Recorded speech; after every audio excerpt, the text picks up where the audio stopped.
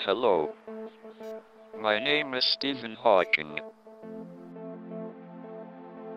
I am very pleased to introduce you to the exhibition of my archive at the Science Museum.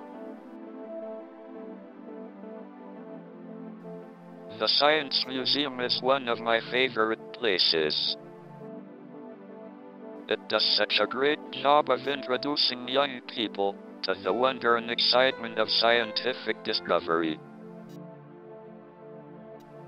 This exhibition is held for my 70th birthday, which is a good time for me to look back on my life in physics.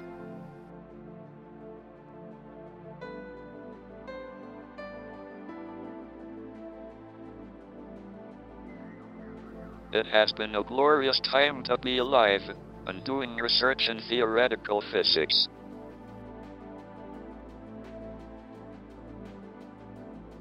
Our picture of the universe has changed a great deal in the last 70 years, and I'm happy if I have made a small contribution.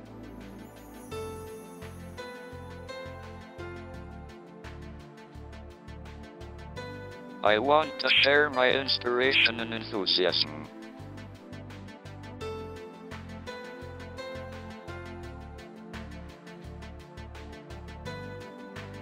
There's nothing like the eureka moment of discovering something that no one knew before. The world has changed greatly over the past 70 years. Science and technology have had a profound impact on the way we live our daily lives.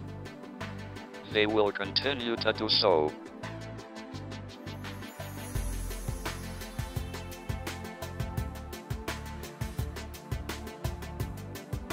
There are great challenges facing the human race, and I hope that young people of today will use science and technology to solve them in the future.